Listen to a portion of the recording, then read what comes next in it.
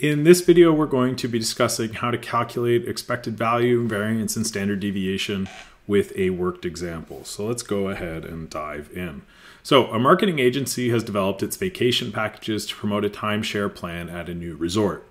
It estimates that 20% of its customers will choose the weekend plan, which includes two nights of overnight accommodation. 40% will choose the long weekend plan, which includes four nights at the resort, and 40% will choose the week plan, which includes seven, night at, seven nights at the resort.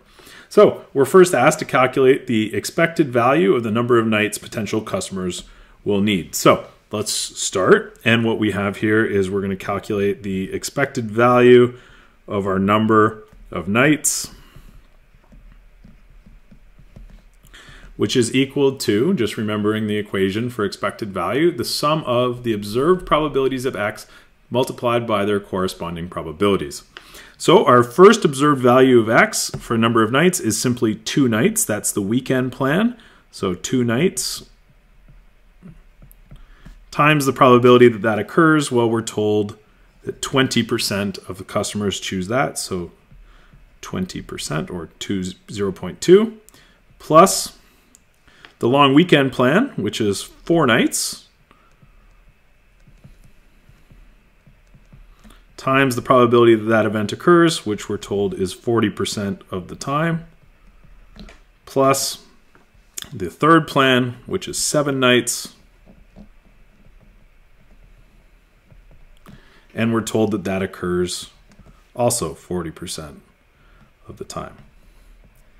Now, just as a quick check to make sure we have all our observed values of x, let's just sum up the probabilities here. So we'll just do this kind of in the margin. Probability of x is equal to 0.20 plus 0.40 plus 0.40.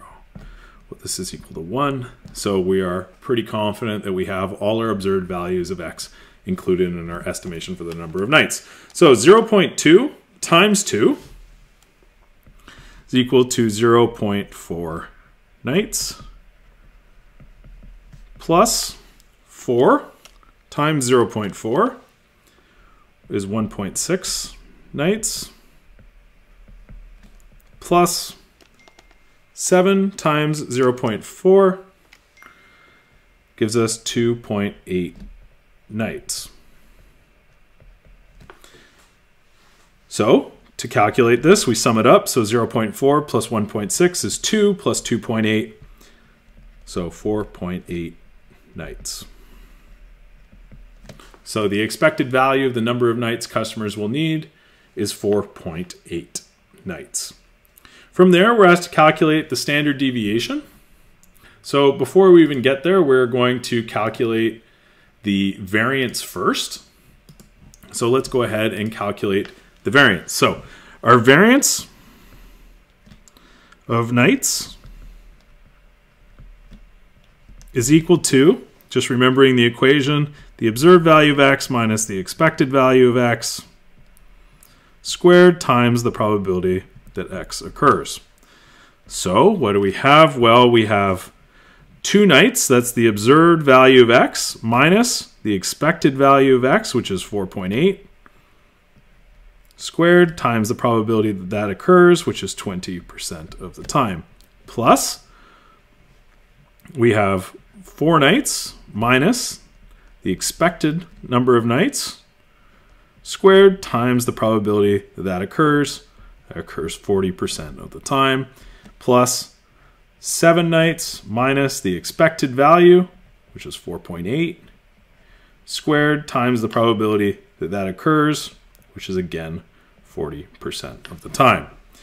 So we get 2 minus 4.8 gives us negative 2.8 squared gives us 7.84 times 0.2 plus 4 minus 4.8 gives us negative 0.8 squared gives us 0.64 times 0.40 plus 7 minus 4.8 squared gives us 4.84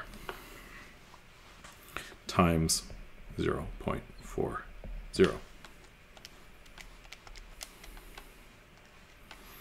So 7.84 times 0.2 is equal to 1.568 plus 0.64 times 0.4, 0.256 plus 4.84 times 0.4 gives us 1.936. So now we sum these all up. So 1.936 plus 0.256 plus 1.568 gives us 3.76. And we have to remember our units here. We're in nights squared. So now we've calculated our variance and now we need to calculate our standard deviation. So our standard deviation of nights is equal to the square root of the variance of nights, which is equal to the square root 3.76 nights squared. So take the square root of 3.76, and what we arrive at is 1.939 1 nights. Right? The square root of nights squared is simply equal to nights. So there we have it. We've calculated our standard deviation to be 1.9391 nights. We've calculated our variance to be 3.76 nights squared, and we've calculated our expected value to be 4.8 nights. That's it for this video, but if you found that it helped to make statistics easy, consider showing your support by giving the video a like. And if you still need more help with statistics, then consider subscribing to the channel if you haven't already. I look forward to solving many more problems with you next time.